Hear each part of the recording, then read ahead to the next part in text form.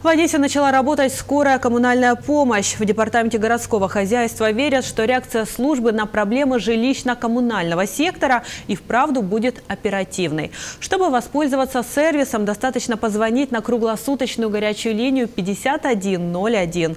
Коммунальщики обещают, что в течение получаса мастера будут на месте.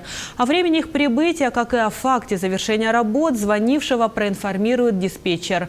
Пока что услугами сервиса смогут воспользоваться пользоваться только жители домов, находящихся в управлении ЖКС Фонтанский и Портофрантовский. 23 декабря подключат ЖКС Черемушки. Постепенно услуга станет доступной всем одесситам. Отдельно за нее платить не нужно, а работа скорой коммунальной помощи включена в действующий тариф.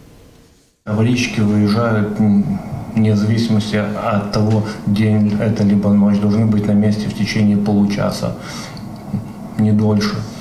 А, вот после того, как эти работы будут выполнены, диспетчер э, сообщает заявителю о том, что работы выполнены, и в принципе он может ознакомиться, и доволен он либо недоволен выполненной работой.